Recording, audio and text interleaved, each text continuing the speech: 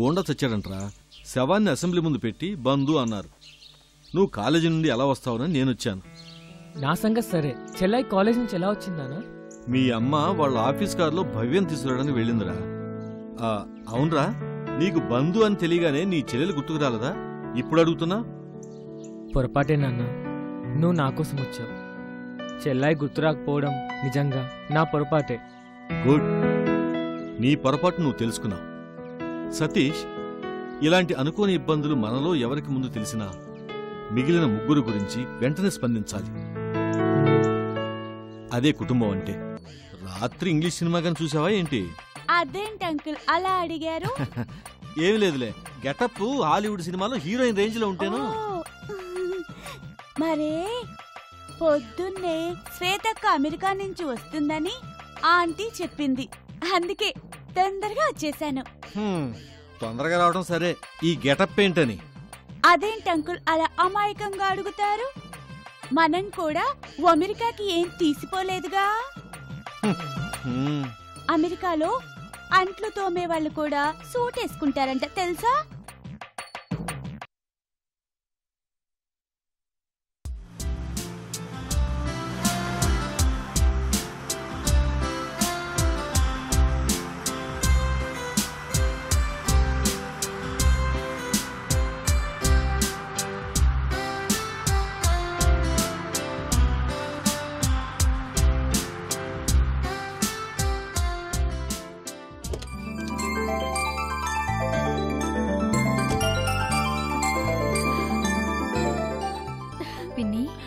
బాబాయ్.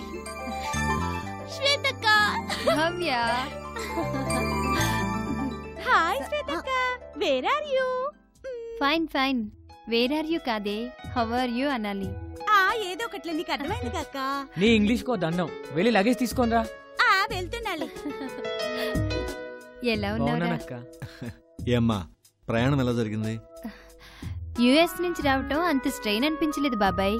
ఇదిగో శంషాబాద్ నుంచి ఇక్కడికి వచ్చేసరికి మరో కంట్రీకి వెళ్ళినట్టు అనిపించింది. చాలా దూరంలో కట్టారు బాబాయ్. అవునమ్మా కానీ తప్పదు కదా. బేగంపేటం సిటీ మధ్యలో అయిపోయింది. యు ఆర్ రైట్ బాబాయ్. పిన్ని నీ చేతి కాఫీ తాగి చాలా రోజులైంది. ఓ మంచి కాఫీ ఇస్తావా? యుఎస్ నుంచి ఇంత దూరం వచ్చింది బోడి కాఫీ తాగడానిక? ఇక్కడ ఉన్న నాళ్ళు నీకు కావలసినవన్నీ చేసి పెడతాను సరేనా? పద లోపలికి వెళ్దాం. పదమ్మా.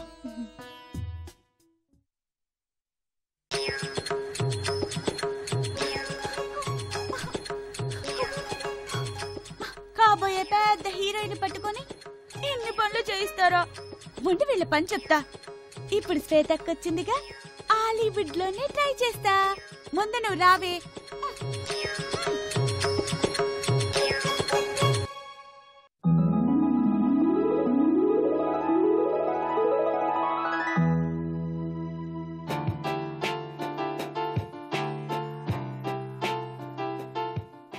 శ్వేత ఇంతకీ నీ రీసెర్చ్ ఎవరి మీదమ్మా?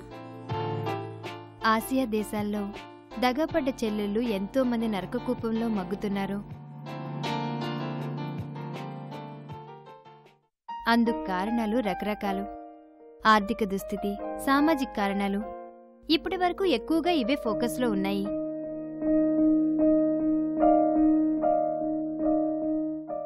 బట్ వాటికి మించిన కారణాలేవో ఉన్నాయని నా నమ్మకం.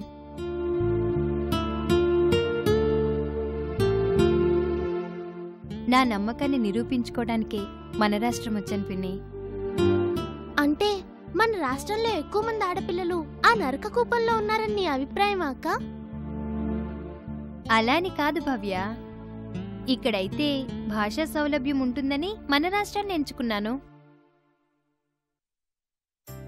నేను అమెరికాలో పుట్టి పెరిగినా నాకు ఈ మట్టి మీద ప్రేమ ఎక్కువ నా మీద మీకున్న ప్రేమ అంతకన్నా ఎక్కువ.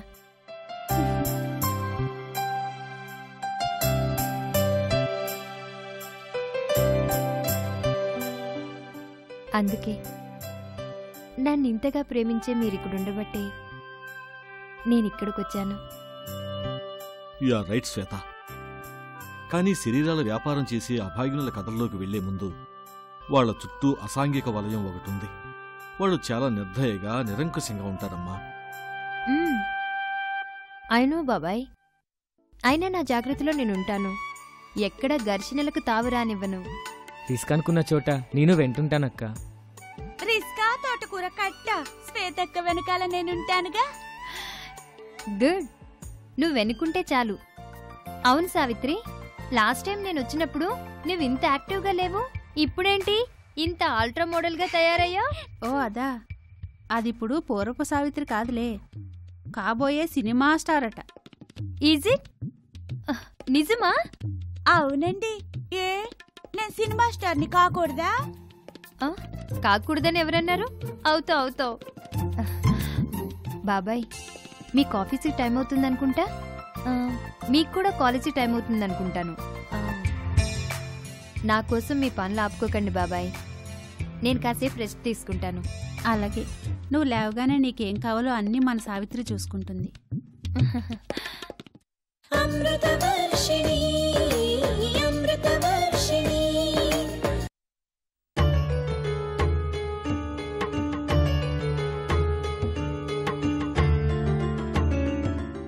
అయితే కూడా స్టార్ అవటానికి నిర్ణయించుకున్నావన్నమాట అవునక్క.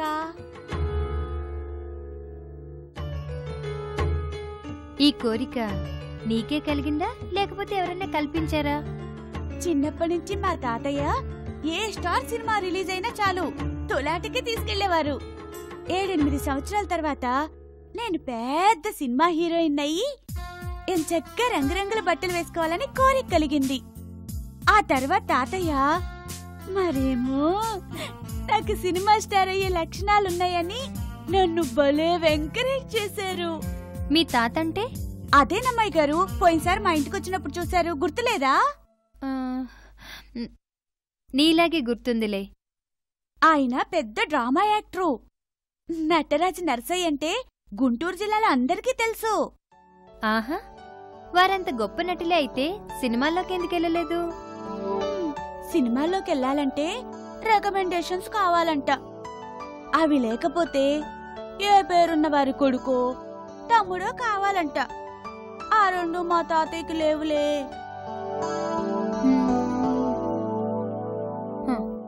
నీకున్నాయా అవి? నాకు లేవు. మరి నువ్వెలా సినిమా స్టార్ అవుతావు? దాందే ఉంది సీతక్క. ఆ రోజుల్లో అయితే చాలా కష్టం.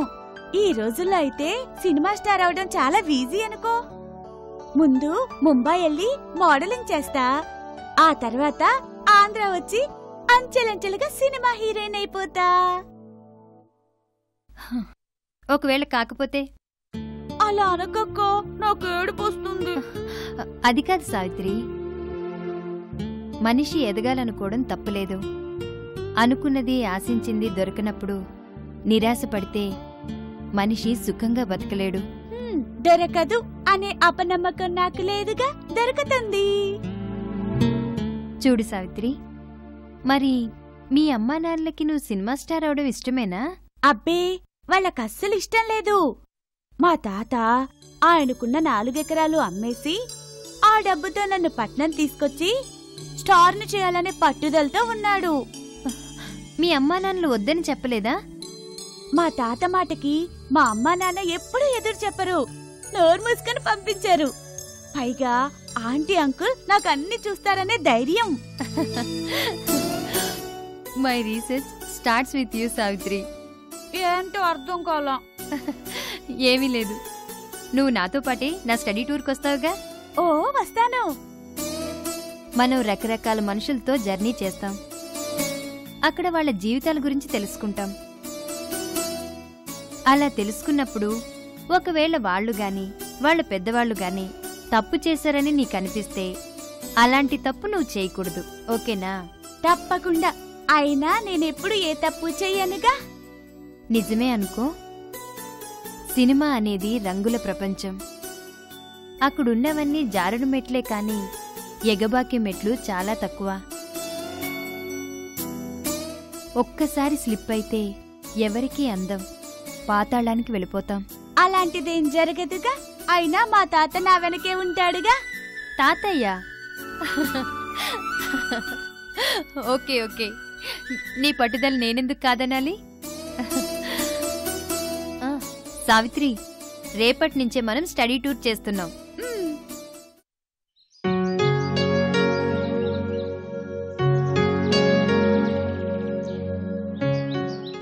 సతీష్ ధీరజ్ కాలేజ్కి వస్తున్నాడా?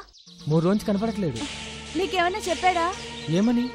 ఐ మీన్ ఏదైనా ఊరెళ్తున్నానని చెప్పాడా? వాడేం చెప్పలేదే. అయినా వాడు ఏది ఎప్పుడు ఎందుకు చేస్తాడో ఎవ్వరికీ తెలియదు ఆఫ్ కోర్స్ నాకు నాలుగు రోజుల నుంచి టచ్లో లేడు. వాడికి ఫోన్ చేయొచ్చు కదా? చేశాను. వాడి సెల్ స్విచ్ ఆఫ్లో ఉంది. వాడే వస్తాడులే కంగారెందుకు నీకు తెలియదు సతీష్. ధీరజ్ నేను రెండు గంటలు మాట్లాడుకోకుండా ఎప్పుడూ ఉండలేదు.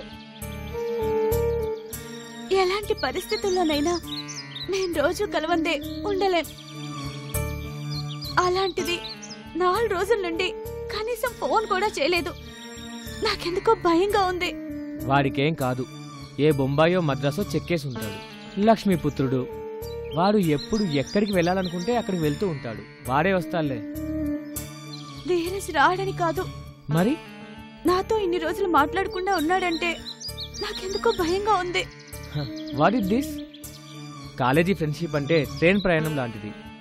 కాలేజీ వదిలేగానే ఎవరి దారి వాళ్ళదే. దానికి ఎందుకింత కంగారు? సారీ సతీష్ మా బంధం అంతకంటే గొప్పది. విడదీయలేంది. స్వప్న? ప్లీజ్ అంతకంటే వివరాలు చెప్పలేను. అతను ఊళ్ళోనే ఉన్నాడని నా నమ్మకం. అతను ఎక్కడున్నాడో కాస్త కనుక్కోవా?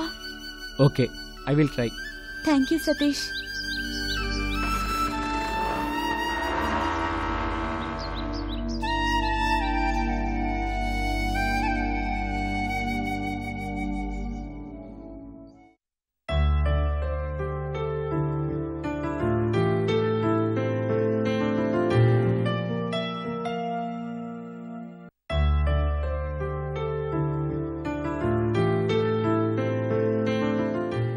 నమస్కారం సార్.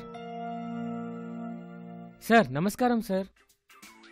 అయ్ బాబోయ్ ఇతను పెద్ద సౌండ్ ఇంజనీర్లా ఉన్నాడే. సార్ నమస్కారం సార్. ఐదు. సార్ నమస్కారం సార్. పది. సార్ నేను మీతో మాట్లాడాలని వస్తే మీరు అంకెల్ లెక్క పెడతారేంటి సార్? నా లెక్క మధ్యలో జూరి నన్ను డిస్టర్బ్ చేశావు కాబట్టి ఇందాక ఐదు ఇప్పుడు పది. మొత్తం పదిహేను రూపాయలు ఇస్తేగా నీతో మాట్లాడినాయా? ఏంటి సార్? మాట్లాడడానికి కూడా డబ్బులు ఇవ్వాలా సార్? తప్పదయ్యా. సార్ ఇస్తాను లేండి సార్. ఏంటి డబ్బులు ఇస్తావా? ఇస్తాను సార్. ఖచ్చితంగా ఇస్తావా? ఇస్తాను సార్ ఖచ్చితంగా. ఇప్పుడు చెప్పవయ్యా ఏం కావాలి నీకు? సార్ పైన రూమ్లో ధీరజ్ అనే ఒక స్టూడెంట్ ఉండేవాడు. అవును నువ్వెవరు? నేను అతని ఫ్రెండ్ సార్. ఫ్రెండా? ఎందుకు సార్ అంత ఆశ్చర్యపోయారు? ఆ ఏం లేదులేవయ్యా. ఈ డబ్బున్న కుర్రాలకి మగ ఫ్రెండ్స్ తక్కువ. అంతా ఆడపిల్లలే వస్తుంటారు. ఎవరయ్యా అని అడిగామనుకో గర్ల్ ఫ్రెండ్స్ అండి అంటాడు. ధీరజ్ లేడండి రెండు మూడు రోజులైంది ఊరెళ్తానని. ఏ ఊరు వెళ్ళాడో చెప్పాడా సార్? అతనికి తెలిస్తే కదా నాకు చూడడానికి ఏ ఊరు వెళ్తాడో అని. అదేంటి సార్? ఈ డబ్బున్నోళ్ళు ఎప్పుడు ఎందుకు ఎక్కడికి వెళ్తారో వాళ్ళకే తెలియదు మరి ఇన్ని బ్యాడ్ హ్యాబిట్స్ ఉన్న అతనికి మీరు రూమ్ ఎలా ఇచ్చారు సార్? మంచి ప్రశ్న వేసావయ్యా. ఈ ధీరజ్ తండ్రి హైదరాబాద్లో పెద్ద ఫ్యాక్టరీ ఓనర్. ఇక్కడ నేను పనిచేసే ఫ్యాక్టరీ ఓనర్కి అతని క్లాస్మేట్. మీ ఇంట్లో ఏదైనా పోషణ ఖాళీగా ఉంటే ఇవ్వమని రికమెండ్ చేస్తే ఇచ్చాను. వీడేమో అర్ధరాత్రి దాకా తాగుడు తందనాలు గంతులు. వాణ్ణి ఎదిరించే దమ్ము లేక ఇలా చతికిలబడి కూర్చున్నాను. ఏంటి? ఏంటా తెల్లమొహం నువ్వును? ఏంటో చెప్పు. ఏం లేదు సార్. ధీరజ్ అడ్రస్ గురించి ఒక ఫ్రెండ్ ఒకరు అడిగారు. ఆడపిల్లేనా? ఎలా కనిపెట్టారు సార్? నాకు తెలుసయ్యా బాబు ఈ ధీరజ్ అనేవాడికి అంతా ఆడపిల్లలే ఫ్రెండ్స్. మగపిల్లాడు ఒక్కడు కూడా లేడు ఫ్రెండ్. పొద్దు నుంచి నలుగురు వచ్చారు. నువ్వు చెప్పిన ఆ ఫ్రెండ్కి ఈ అడ్రస్ ఇచ్చుండడు. సరే సార్. వస్తాను సార్. హలో? ఎక్కడికి వెళ్తానంటున్నావు? మరి నా డబ్బులు? Sorry sir. పని కాకుండా డబ్బులిచ్చే అలవాటు నాకు లేదు. ఓరి నీ అమ్మ కడుపు మాడా. నువ్వు సామాన్యులా లేవు రోయ్. నాకంటే ముదురులాగా ఉన్నావు. అమృతవర్షిణి అమృతవర్షిణి.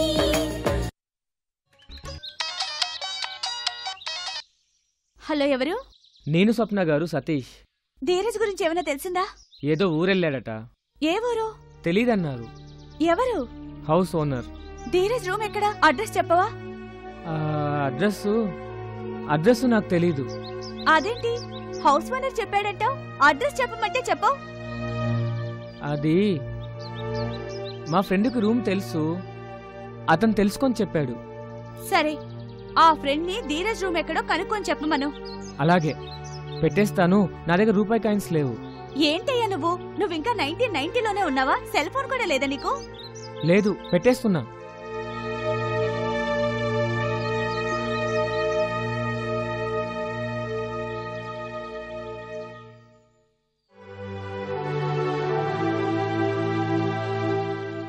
ఏంటయ్యా నువ్వు? నువ్వు ఇంకా నైన్టీన్ నైన్టీలోనే ఉన్నావా? సెల్ ఫోన్ కూడా లేదా నీకు?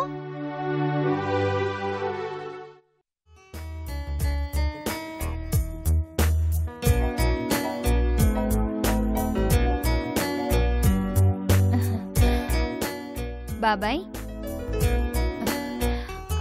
ఇవి మల్టీవిటమిన్ టాబ్లెట్స్.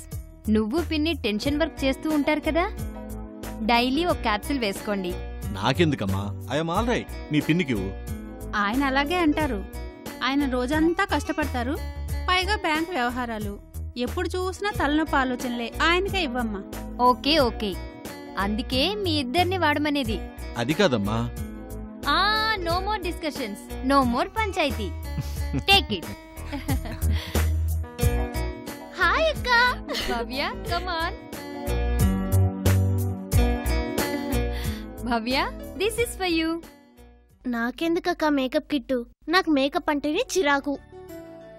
ఎప్పుడైనా కాలేజ్ ఫంక్షన్లో ఫ్యాన్సీ డ్రెస్కి పనికొస్తుందని తీసుకొచ్చాను. తీసుకోమ్మా. థ్యాంక్స్ అక్క. Satish. This is for you నువ్వు సెల్ ఫోన్ వాడవని తెలుసు. కానీ ఈ రోజుల్లో మనిషి జీవితంలో సెల్ ఫోన్ ఒక భాగమైపోయింది కదా. పైగా మగపిల్లాడివి. తీసుకోరా? తీసుకోరా? పాప మా అక్క అంత ప్రేమ వేస్తుంటేను. But one condition. అడుక్కునే వాళ్ళు కూడా సెల్ ఫోన్ మెయింటైన్ చేస్తున్న ఈ రోజుల్లో మీ ఇద్దరికి ఈ ఫోన్ ఎందుకు కొనేవాళ్ళో తెలుసా? తెలుసు నాన్నగారు. అవసరానికి మించి సెల్ ఉపయోగిస్తే టైం వేస్ట్తో పాటు బ్రెయిన్ స్ట్రెయిన్ అవుతుంది. రైట్. అది గుర్తుంచుకుని అవసరానికి వాడుకో. అయినా నాకంత అవసరం లేదు నాన్నగారు. అబ్బో పెద్ద ఫోజు. వీడికి సెల్ ఫోన్ కావాలని లోపలుంది పైకి మాత్రం ఇలా ఫోజ్ కొడుతున్నాడు అంతే. అక్క ఆ సెల్ ఫోన్ ఏదో దానికి ఇవ్వు అప్పుడు అర్థమవుతుంది. సెల్లా? నాకా? చిచి మా కాలేజ్లో రోజు చూస్తున్నానుగా. సొర్లు కబుర్లతో ఫ్రెండ్స్ అంతా పిచ్చి పిచ్చిగా మారిపోతున్నారు. I hate cell phone. నాకు తెలిసే అందుకే నీకు సెల్ ఫోన్ తీసుకురాలేదు. సతీష్ నీకు ఇష్టముండదని తెలుసు. కానీ నేనిక్కడ పదిహేను రోజులు పైగా ఉంటున్నాను కదా. నేను నిన్ను కాంటాక్ట్ చేయాలంటే సెల్ అవసరం కదా. పోనీ నా కోసం అనుకో. అలాగైతే ఓకే అక్క. అక్క ఈ నెంబర్ నీకు మన ఇంట్లో వాళ్ళకి తప్ప ఎవ్వరికీ తెలియనివ్వను. తెలిస్తే ఏంటో? ప్రతివాడు సుత్తేస్తాడు. చూద్దాంగా సెల్ నీ చేతికొస్తే నీ చెప్పు చేతల్లో నువ్వే ఉండవురా సతీష్. చూస్తారుగా ఐఎమ్ డిఫరెంట్. ఓకేరా కీప్ ఇట్ అప్.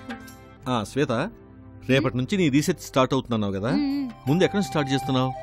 మెహందీ బజార్లో ఓ అమ్మాయిని ఆల్రెడీ యుఎస్ నుంచే కాంటాక్ట్ చేశాను బాబాయ్. ఆమెతోనే నా స్టడీ మొదలు పెడతాను ఓకేనమ్మా. All the best. Thank you బాబాయ్.